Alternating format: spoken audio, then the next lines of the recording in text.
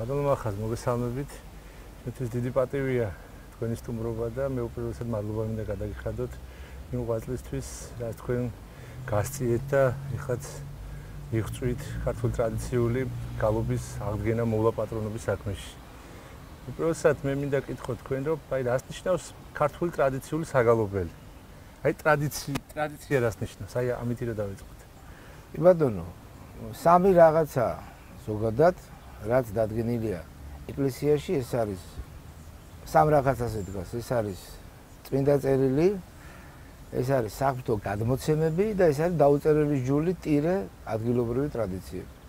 აი გალობაც შედის ამ ადგილობრივ ტრადიციებში და თუ ერმა მოიღვაწა ეს რომ მას კონდეს თავისი მუსიკალური ენა ეს არის ძალიან დიდი წარმატება და წმინდა მამები ამბობენ რომ ადგილობრივი ტრადიციების სწორ არის ჯულისა, ანუ დაწერილი ჯულის ტოლფასიო, იმიტომ რომ ის არის საუკუნეებით ნაგროვები და ამ ადამიანი ადგილობრივი ეკლესიის წარმომადგენელი ამ სივრცეში გრძნობს ბუნებრივად თავს.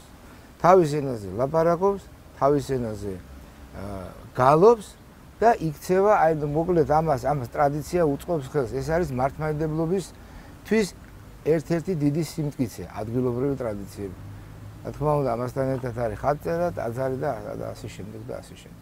რამოდენიმე წლით უკარო გადავიწიოთ, აი როგორ იწყებოდა თქვენ ძანდებით იმ თაობის წარმოადგენლები, რომლებიც ფაქტიურად მე-20 საუკუნის ბოლოს აი მოკიდეთ ამ ყველაფერს ხელი და დაიწყეთ აღდგენა. აი მაშინდელი სირთულეები რა იყო? აგზა განულო ამ ყველაფერს. ერთი რამის თქმა მინდა, რომ ამ საქმეს, ეს საქმე ღმერთმა ღმერთმა დაიწყო რა თქმა უნდა ჩვენი მე მეშოობით და ღმერთივე აგძელებს თუმცა ეკლიანი გზით მიდის დღესაც. კი ძალიან ბევრი მტერი ყავს შინაური თუ გარეული. მაგრამ დარწმუნებული ვარ რომ ეს ფონს გავა. ივიცი რომ აი მას თვითონ ღმერთი ფარველობს და ყოველდღე წმინდა ღვთისმშობელი იმიტომ რომ ეს ისეთი რამეა რომელიც იგავ მიუწვდენელი, ესე იგი ეს ახელთუქმნელი განძი, ქართველი კაცის მიერ მოფიქრებული, ღმერთთან აბსოლუტურ თანაგზიარებაში მყოფი.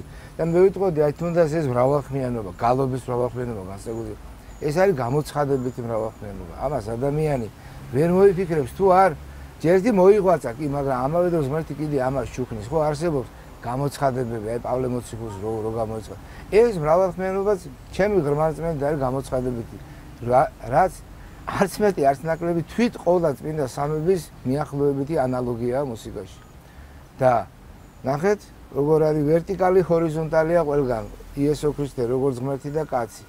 აა ი ზარის ბერა მაგალითად ხშირად ვავლებ ხოლმე პარალელს, რომელიც აი ქვევიდან იღებს ინერციას ზევითადის.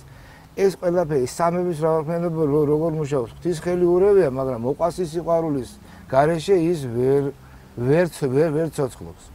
ძველად იყო ასე ეს ხალხი ერთად უერთმანეთოდ ვერძლებდნენ რა მოკლედ და ასე იყო ერთი ფუთი მარილის ჭამის შემდეგ გამოდიოდა ის მრავალხმიანობა რასაც ერქვა და ბევრი რამის თქმა შეიძლება იგივე რა ვიცი ძალიან ისეთი ტრადიციები იყო ჩვენთან რომ აი ნამდვილი მრავალხმიანობა ნამდვილი მრავალხმიანობა არის ქართული მრავალხმიანობა.